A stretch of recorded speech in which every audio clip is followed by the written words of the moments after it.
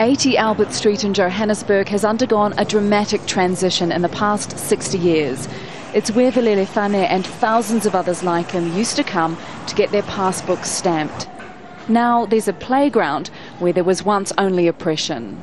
If you don't have the right stamp, the police van waits back there by that gate. And you come down and they put you straight into the van. Fane is now the cleaner in the old non-European Affairs Department building.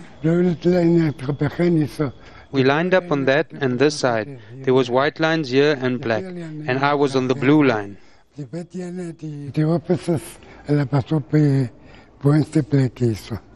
offices were raised. You had to go up the steps. There were no passages. This is where you would get your special permit.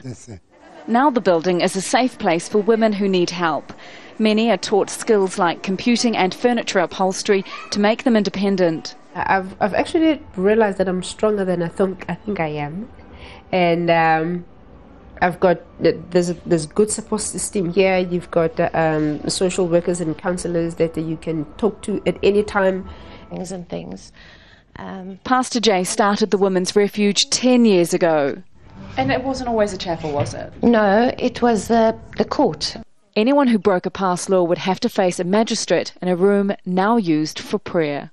Where in the past uh, decisions were made for the wrong reasons for people's lives, now they make positive decisions for their lives here. The building's now a protected heritage site and there are plans to establish a museum here, something Fane is happy with.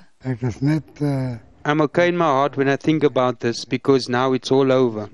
I need to be strong for the children because they're here all the time now.